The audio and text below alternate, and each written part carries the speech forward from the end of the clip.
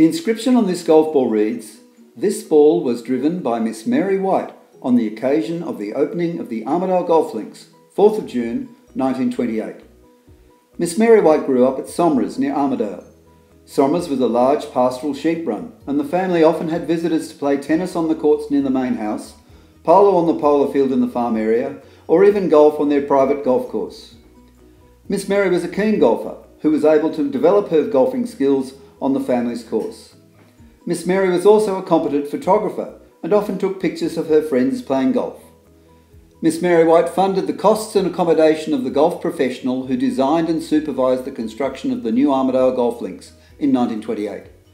To recognise Miss Mary's contribution to the development of the new Armidale golf links, she was given the privilege of hitting the first ball to be driven on the new course.